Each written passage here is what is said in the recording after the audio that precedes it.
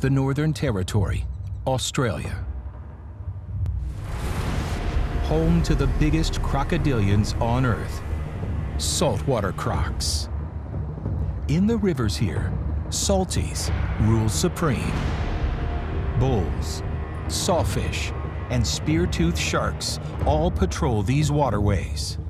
But they're no match for the salties, which can reach 20 feet in length.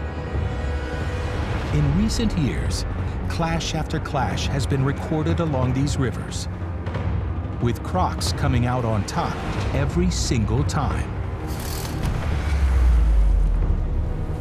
10% of the river's sharks have scars from attacks.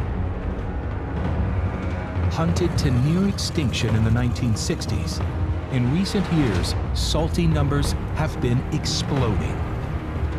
Now, up to 200,000 live in northern Australia. Running out of space in the rivers, they're heading out to sea.